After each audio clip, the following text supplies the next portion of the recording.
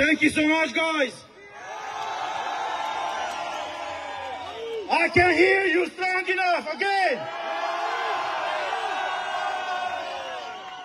Ursula von der Leyen, where are you? Come down here.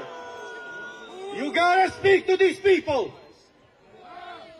Because what she's doing right now in the European Union, she's transitioning this great union from a democracy to a tyranny.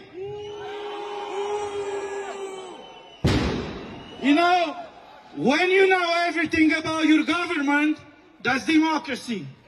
But when the government knows everything about you, that is tyranny. Yeah, no tyranny, right?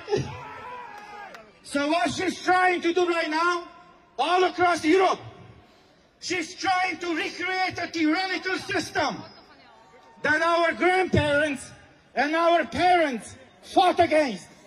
So for this reason, I'm looking in your eyes and I'm telling you, each one of you is a hero today.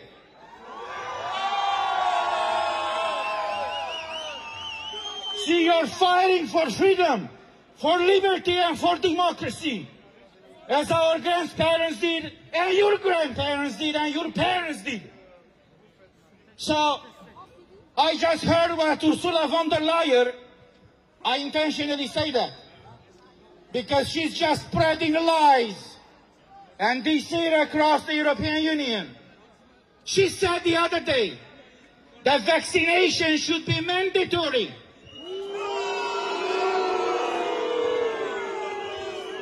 Questions. Do you know what you're vaccinated with?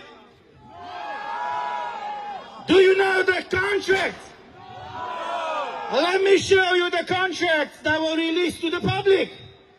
So she's asking us today to vaccinate with something that was bought based on contracts that are not fully disclosed.